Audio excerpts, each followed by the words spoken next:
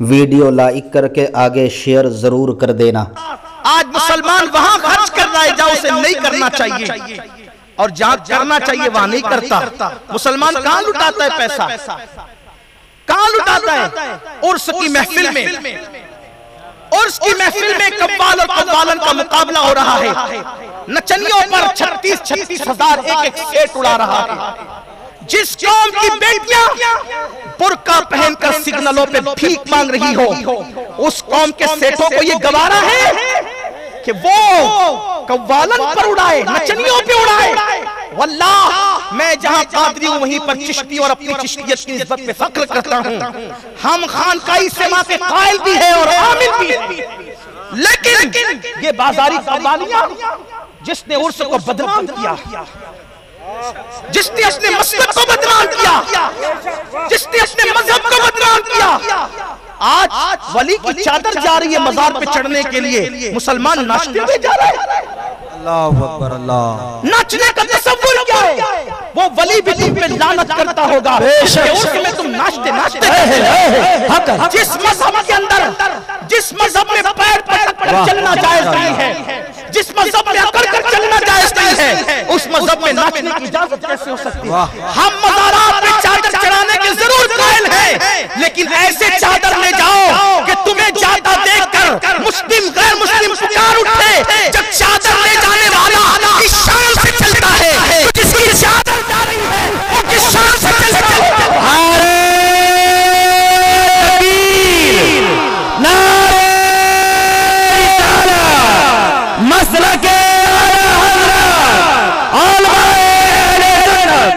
वाह माशाअल्लाह सुभान अल्लाह की ज़िंदगी याद दिलाओ।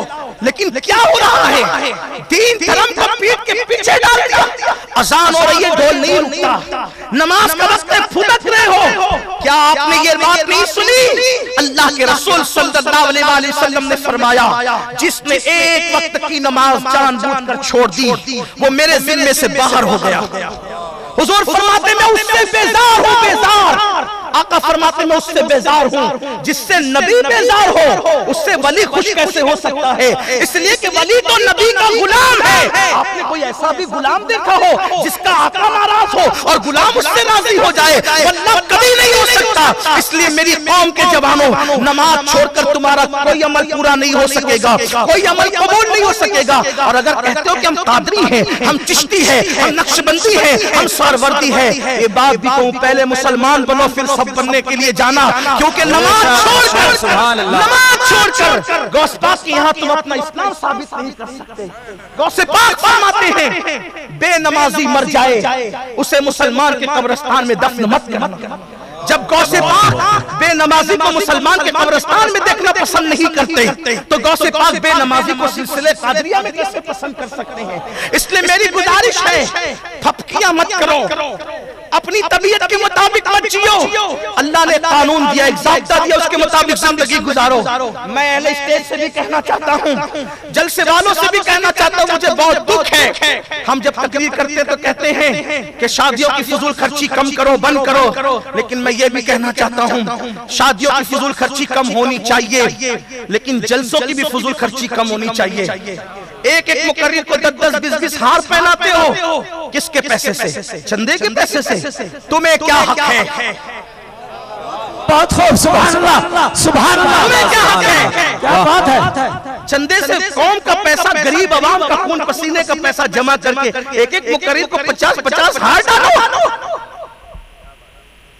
और अगर तुम अपने भी जो है वो पेश करते हो हार एक एक को दस दस पाँच पाँच हार। तो ये भी फजूल खर्ची है। जिस कौम के यतीम बच्चे और बच्चियाँ गुर्बत की वजह से लौजों में अपनी आबरू बेचने पे मजबूर हो रही हो। अगर उस कौम के खतीब को 25-25 हार गले में डालोगे तो पहनने वाला भी अल्लाह को क्या जवाब देगा? पहनाने वाले भी क्या जवाब देगा? मैं तो लोगों से कहता हूँ कम से कम मेरे साथ जुल्म न करो जिसे शौक पहना दिया करें।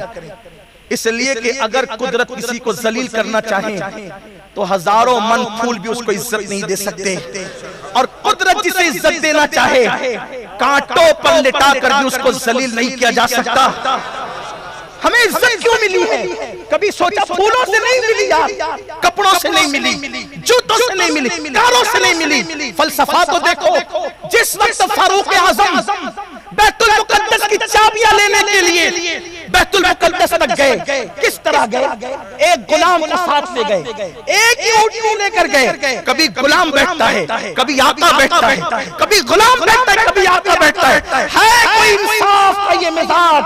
ये इंसाफ का मिजाज सिर्फ़ मोहम्मद अरबी के गुलामों के पास सुभान अल्लाह वीडियो अगर अच्छा लगा हो तो लाइक करके आगे शेयर ज़रूर कर देना। अल्लाह हाफिज़।